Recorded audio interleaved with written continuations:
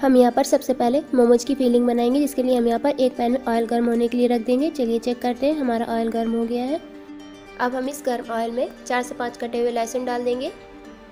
लहसुन को हम कच्चापन दूर होने तक इसको सौते कर लेंगे।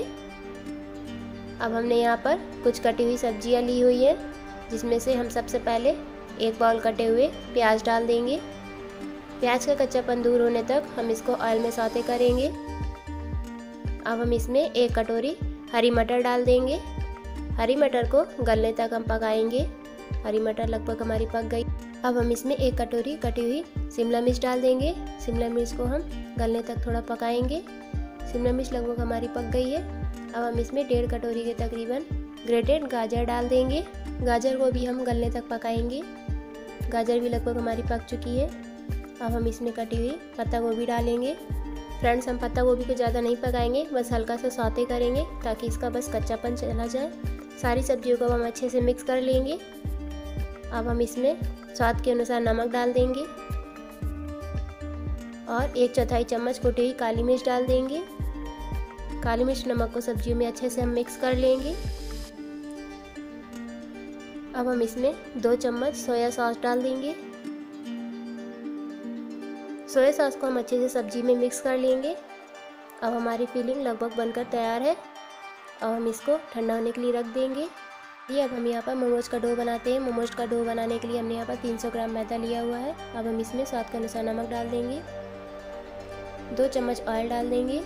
ऑयल डालने का सबसे बड़ा रीज़न ये है फ्रेंड्स कि इससे मोमोज का डो बहुत ही अच्छे बनकर तैयार होता है और मोमोज की पट्टियाँ बेलते समय यह फटती भी नहीं है और मोमोज ही बहुत ही अच्छे बनकर तैयार होते हैं, इसलिए मैं यहाँ ऑयल डालती हूँ। आप चाहे तो इसे स्किप भी कर सकते हैं और सभी चीज़ों को अच्छे से मिक्स करते हुए थोड़ा थोड़ा पानी डालते हुए हम इसका एक चपाती के जैसा सॉफ्ट आटा गूँथ लेंगे और इसको हम ज़्यादा हार्ड नहीं बनाएँगे, थोड़ा सॉफ्ट ही आटा गूँथेंगे जिससे कि अच्छे से हमारी पट्टियाँ बेलने में दिक्कत ना आए और अच्छे से बेल जाए। हमारा आटा बनकर तैयार है। अब हम इसको 10 मिनट के लिए रेस्ट करने के लिए रख देंगे। 10 मिनट हो चुके हैं, हमारा आटा अच्छे से फूल गया है। हमने यहाँ पर एक थोड़ा सा सूखा आटा लिया हुआ है, जिसकी सहायता से हम मोमोज की पट्टियाँ बनाएँगे। अब हम मोमोज की पट्टियाँ बेलेंगे, जिसके लिए हम यहाँ पर थोड़े से गुथे हुए आटे को चकले में लेंगे और इसकी हम छोटी छोटी लोइयाँ तोड़ लेंगे। देखिए कुछ इस तरीके से। हम इसको छोटे छोटे पेड़े बना लेंगे। देखिए कुछ इस तरीके से। इस तरह हम अपने सारे लोइयों के पेड़े बनाकर तैयार कर लेंगे। अब हम यहाँ पर एक लोई को सूखे मैदे में कोट करते हुए चकले में रखेंगे और इसको बेलन की सहायता से चपाती की तरह पट्टियाँ बेल लेंगे। देखिए कुछ इस तरीके से। अब हम इसको प्लेट में निकाल लेंगे और इसी तरह हम अपनी सारी पट्टियाँ बेल कर तैयार कर लेंगे। फ्रेंड, जब हम घर में चपाती बनाते हैं तो उसको हम थोड़ा मोटा बेलते हैं। तो जब हम मोमोज की पट्टियाँ बनाएँगे तो चपाती से थोड़ा हम पतला बेलेंगे और हमने यहाँ पर कुछ पट्टियाँ बेल कर तैयार कर ली है और फीलिंग भी लगभग ठंडी हो चलिए अब हम मोमोज बनाते हैं और हम यहाँ पर पहला डिज़ाइन बनाएँगे, जिसके लिए हम यहाँ पर बीच में मोमोज की फीलिंग बनाएँगे। और ये जैसे हम साड़ी की प्लेट बनाते हैं ना, चुन्नट डालते हैं, ठीक उसी तरह हम इस साइड साइड से चुन्नट डालते जाएँगे। देखिए कुछ इस तरीके से। सारी चुनौटों को एक साथ पकड़ते हुए हम इसको बीचों बीच बिल्कुल बंद कर देंगे।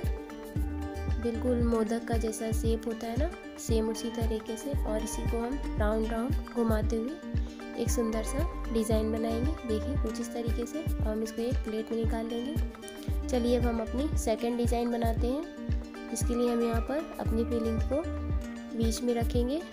और साइड साइड से जैसे साड़ी का प्लेट होता है, वैसे हम प्लेट बनाएँगे और लेकिन इसको हाफ़ ही बनाएँगे और हाफ़ में हम कुछ ऐसे बनाएँगे।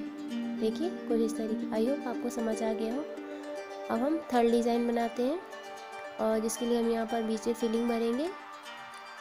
और देखिए साइड से लेते हुए और दोनों साइड से लेते हुए बीच में हम चिपका देंगे और इसी ठीक इसी तरह इसको भी हम बीच में चिपका देंगे। ये देखिए, बन गया ना कितना सुंदर डिज़ाइन। ये पॉकेट डिज़ाइन हमारा तैयार है। अब हम चलिए चौथी डिज़ाइन बनाते हैं। इसमें भी फिर वही मेथड बीच में हम फिलिंग भरेंगे। और इसी तरह हम साड़ी की प्लेट बनाएँगे। लेकिन साड़ी की प्लेट एक दूसरे के ऊपर इसी तरह हम चिपकाते जाएँगे अलग अलग नहीं लेंगे। देखिए कुछ इस तरीके से ये पोटली का हम सेप देंगे। बीच में इसको होली रखेंगे। ये हमारा पोटली तैयार है। देखिए, लग रहा है ना बहुत ही सुंदर।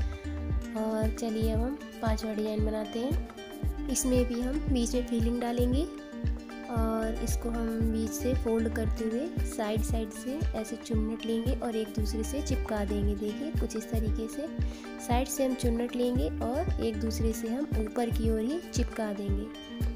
ये इस तरीके से। आई होप आपको समझ आ गया होगा। और इसी तरह हम साइड से डिज़ाइन की प्लेट डालेंगे और इसको ऊपर से चिपका देंगे। आई होप आपको ठीक से समझ आ गया होगा। मैंने यहाँ पर पाँच प्रकार के मोमोज की डिज़ाइन बनाकर तैयार की है। ठीक इसी तरह हम सारे मोमोज बनाकर तैयार कर लेंगे। मैंने यहाँ पर पहले से ही स्टीमर को चढ़ा दिया था। हमारा स्टीमर हो गया है। अब हम इसमें अपने तैयार मोमोज को स्टीम होने के लिए एक एक करके रख देंगे। कुछ इस तरीके से अब हम इसको 10 मिनट के लिए ढक देंगे। ठीक 10 मिनट बाद हम चेक करेंगे कि हमारे मोमोज अच्छे से बनकर तैयार हुए हैं या नहीं। फ्रेंड्स हमारे मोमोज अच्छे से स्टीम हो गए हैं। और फ्रेंड्स हम यहाँ पर दो तरीके के मोमोज बना रहे हैं, जिसके हम आधे मोमोज को प्लेट में निकाल लेंगे और हल्के गर्म ऑयल में लाइट ब्राउन होने तक हम इसको फ्राई कर लेंगे। हमारे मोमोज देखिए लाइट ब्राउन हो गए हैं। अब हम इसको प्लेट में निकाल लेंगे। देखिए कुछ इस तरीके से हमारे फ्राइड मोमोज बनकर तैयार हुए हैं। फ्रेंड्स मैंने यहाँ मोमोज दो तरीके से बनाए। आधे को मैंने फ्राई किया हुआ है, आधे को मैंने स्टीम रखा है। आई होप आपको मेरा ये मेथड पसंद आया हो। तो इंतज़ार किस बात का, आजकल तो मोमोज सभी को पसंद होते हैं तो जल्दी से जाइए और जल्दी से बनाइए। Thanks for watching